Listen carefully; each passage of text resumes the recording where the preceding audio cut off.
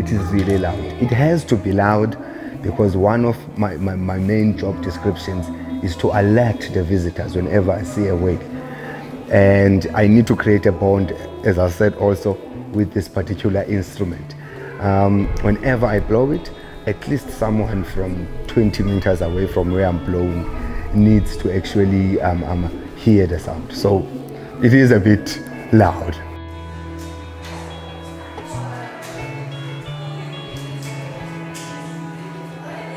With the kelp horn, we actually, I, we, we were not taught by no one. It's like what we normally say to our visitors, the original vuvuzela.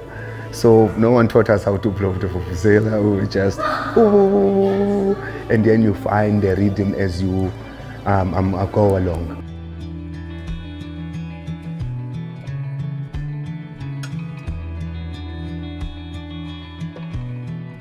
First thing the whale crier does is to ask the boat companies if they are going out. Um, they are also one of our stakeholders that we engage with uh, just to get a feel of what is happening in the ocean and just to get our statistics right about the whales. So I, I, I, make calls, I find out are they going out, what time slots are they going out, and if there are any sightings. And then from there, the whale crier goes into the cliff part. So the cliff part is actually the reason why Hermanus is, is dubbed as the whale capital of the world. Because we have this coastal stretch of land that is 12 kilometers long, very close to the ocean. And at, during peak season, you don't have to worry about a boat trip. You can literally walk and then 100 meters from where you are walking, a whale is breaching. Also, the interesting one is, is managing people's expectations. Um, people they come with you and they ask where is the whale what time is the whale gonna come out? And as i said we're dealing with mother nature. It's really really hard to say what time they're gonna come out um, and when they're gonna come out.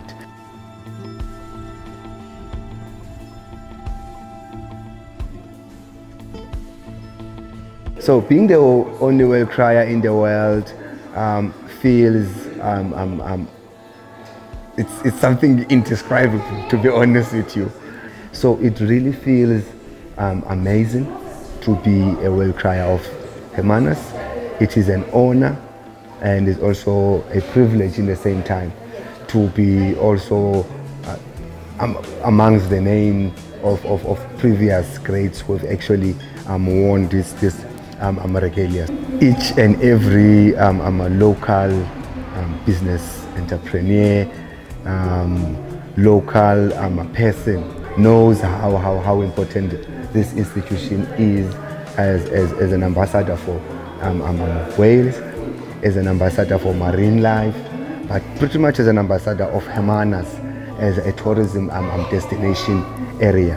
So the whale crier itself, it has really grown to a point that the whale crier is, is, is the main attraction now than the Southern Right Whale. So that's how massive it has actually um, um, um, um, um actually grown.